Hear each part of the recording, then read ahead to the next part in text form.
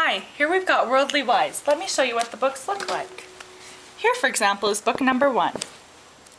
The thing that makes Wordly Wise so fun is that you do one exercise a day. It's very easy. Here's lesson three. Here's the word list. Your student's going to study the definitions of the words below, then do the exercises for the lesson. Here's our words. Approach, burrow, cease, destructive, drowsy, famished, forecast, hibernate, migrate, nestle, observe, prepare, reduce, severe, and venture. Here's a pronunciation key, and this is what the word means.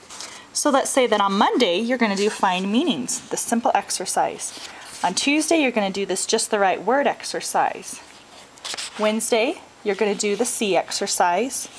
Thursday and so on. On the last day of the week, Friday, you read a narrative. It's a story that includes all of the vocabulary words that your student has been practicing that week. Like there's migrating, burrow, nestled. And this way it makes it really fun for the student because they can actually see if they understand what they've been practicing all week.